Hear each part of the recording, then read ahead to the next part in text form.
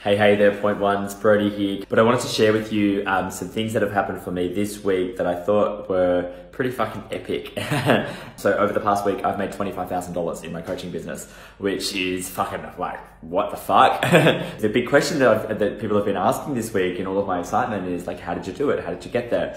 And honest to God, um, it is the consistency with which I have followed all the different tools that Richmond has provided us with. So that content marketing is absolutely fucking key because three months ago, I never would have thought that I would be in this position. And I was just reflecting over the weekend that three months ago I didn't even have the concept of having a business, and now in in the space of one week I've made twenty five thousand dollars. Now, if I was to fast forward ahead and think to the future, like I would be able to quit my job in eight weeks if I have um, more weeks like this. Obviously, I know that that's not how it works. It comes in ebbs and flows and everything.